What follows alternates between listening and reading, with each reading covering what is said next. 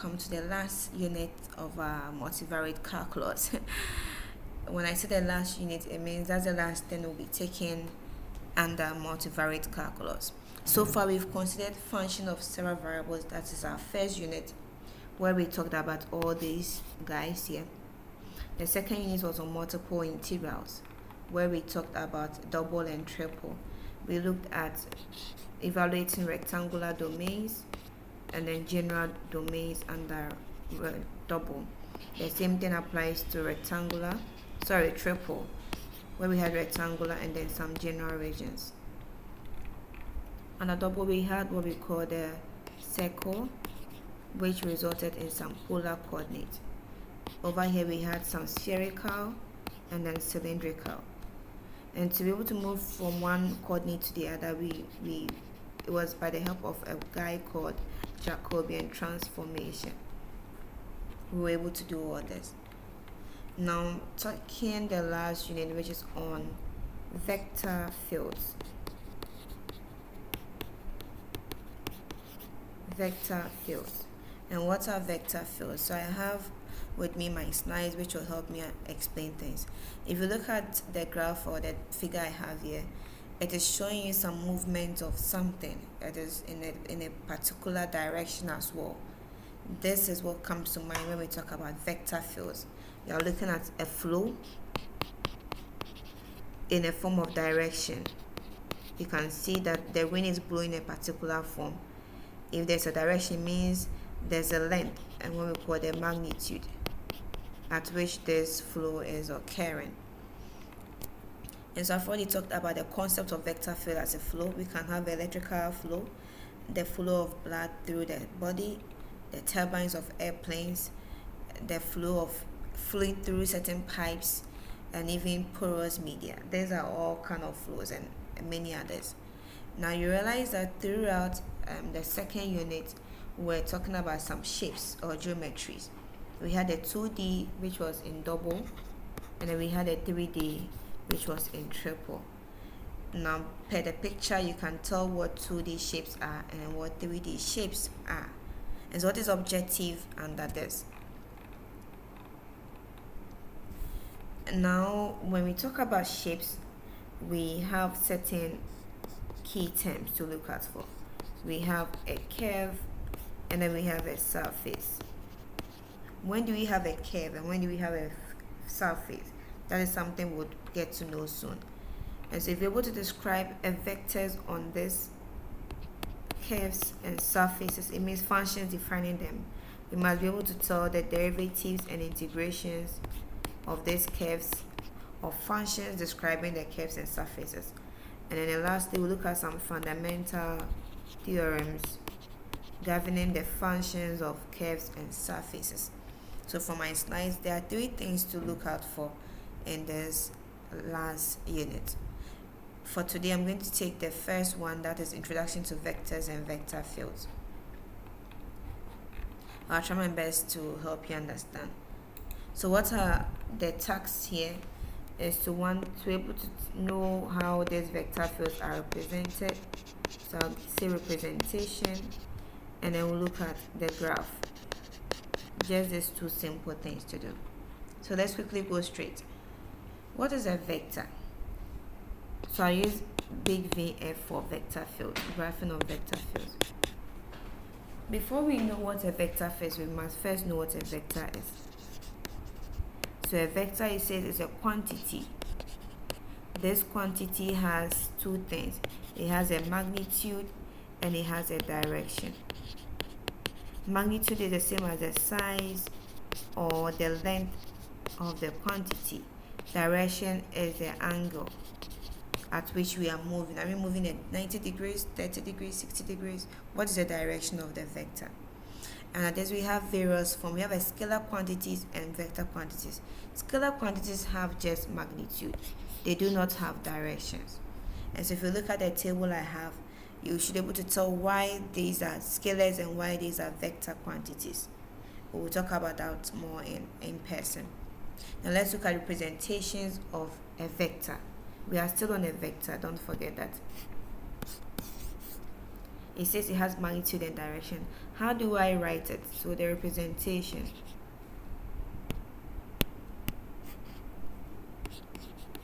the rep if I write a vector as a I must show an arrow so a vector is like an arrow it has a head and tail where it starts from and where it's heading towards. If I have this on top of the A it means it's a vector. So B with the arrow on it shows it's a vector. Okay. So I've already talked about magnitude being the length. So length from this point to that point is the magnitude. And then the angle gives you the direction. With now knowing what a vector is we can tell what a vector field is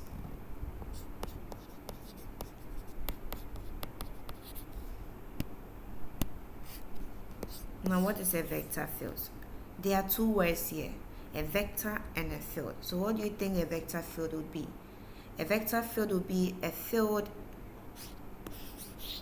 this is a field containing vectors. Hmm. So a vector field is just a field, a plane, or a space which contains vectors. So if this is my field,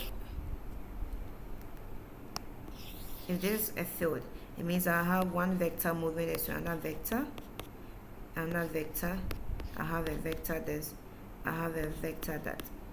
These are a collection of vectors in the field, so it's a vector field. Now we, are, we said that a vector has magnitude and direction. This implies that this vector field will also have some magnitude and it will also have what? A direction. So if you look at the figure here, it shows a, a flow, a fluid flowing.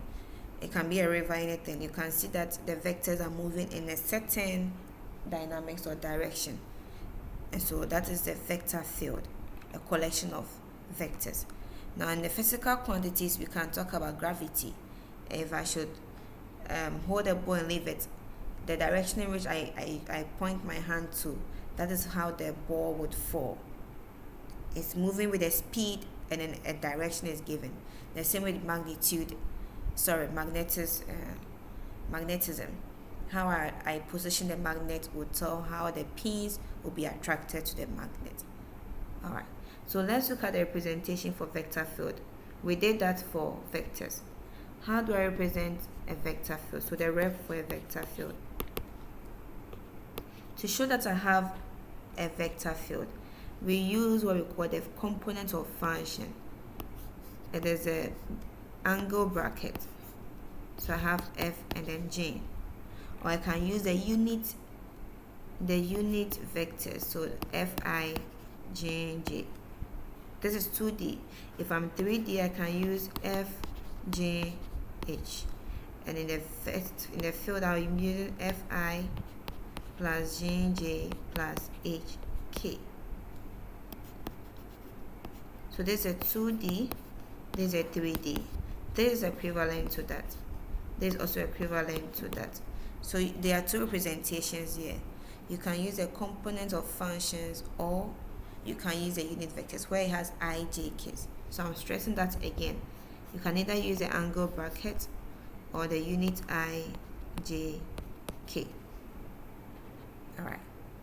Now with that said, we've done the representations of vector field. Let's see how we graph vector fields. If you want to know how your vector field looks like, you would always want to construct a vector. Don't forget, a vector field is a collection of vectors. So you first have to construct some vectors. And then you know how they are moving. It will give you the full face. So I'm having an example here. It says assume you have a vector field. This is a two dimension. It is given as negative i plus xj.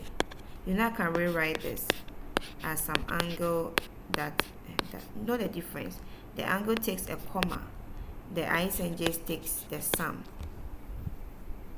okay now we'll, we'll construct some points from it I have some x j so this is a, a vector. If I use this that is a vector field. Assuming I have the point one zero how would the vector field look like? It will be how would the vector sorry it says negative y and then x. Y is 0 I can't have a negative 0 so it's just 0 and then 1 if I take the point 0 1 now it means I'm just moving from where I ended. It means y is negative 1 and then 0 I can take the next point as negative 1 0 it means my vector field becomes 0 and then negative 1 I can choose a negative 1 now. I'm going to get 1 and then 0 y 1? that it says it's negative y. There's already negative 1 it means I, it becomes a positive. Now I can't go to 1 0 again why? Because 1 0 was the initial starting point so it means I'm done. I can take another set of points x y and then construct its vectors from it. Let's take 2 0 2 0 simply give me this. If I take the next point as that I'm going to get negative 2 0 this is x this is y if I take negative 2 0 I'm going to get 0 negative 2 if I take 0 negative 2 I'm going to get a vector of 2 0 and I end here. Because the next point would have been 2 0 which is already in the initial state let's see how we plot this. So I, I my normal line here my plane this is 0 1 2 1 and then 2 negative 1 negative 2 negative 1 and negative 2 I'm just using this this point. I can go beyond that.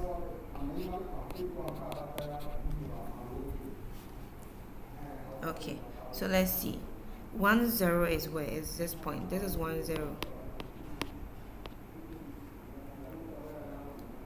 x is 1 y is 0 1 0 moves to 0 1 and this is 0 1 so it means it's going to move up here. A vector has an arrow. So I'm done with this first one. The second one stays on this point on 1 0 and it moves towards negative 1 0 which is here. So it means I'm going to move this way because that's negative 1 0 negative 1 0 now moves to 0 negative 1 0 negative 1 is this point. It means this guy will have to come down.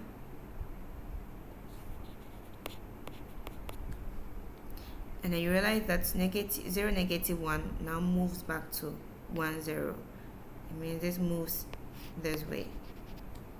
If I should follow the process realize 2 also move in that same dimension you can verify that 2 also move just as oh I've extended my line so this also move in the same direction.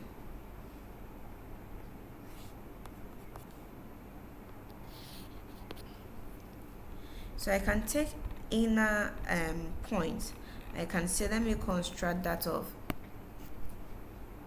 the same xy of negative yx I can take 0 and then 0 0 0.5 and then 0 that will be 0 0 0.5 okay. What else? I can now move to 0 and then 0 0.5 and I'm going to get negative 0 0.50 I can move to 0 negative 0 0.50 and I'm going to get 0 and then negative 0 0.5 the last thing negative 0 and then that and I realize I'm going to get 0 0.50 and that is the end. I can't move because this is the same as this starting point here. So let's see. 0 0.5 is somewhere here 0 0.5 also be here. So it means I'm going to move in an inner point. Let me use the blue to show the differences here. This will be the 0 0.5 point.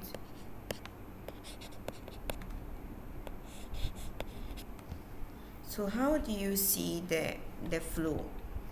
So see we moved up we came this way we came that this is how it would be. So the direction we move outside we move in.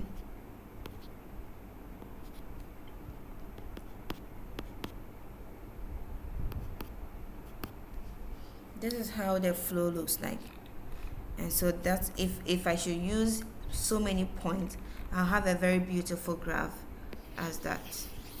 It'll move like a circle and this is how the direction of the flow would be. Okay. the second example if I follow the same procedure it should be the opposite. Why? Because now in place of negative yx I'm taking that of y and the negative x. So it's like the reverse. If you try this one out in place of moving you realize that in place of moving up and going this way I'm going to move down. It's rather going to be this way.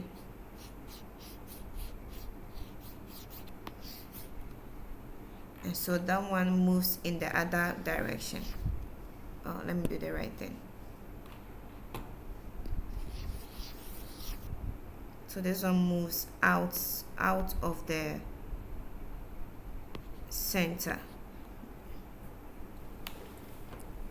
that is the difference you can try that one out. In that case i have um, a tax here. It says verify or match the vector fields. It means you pick one you match which one would be like that.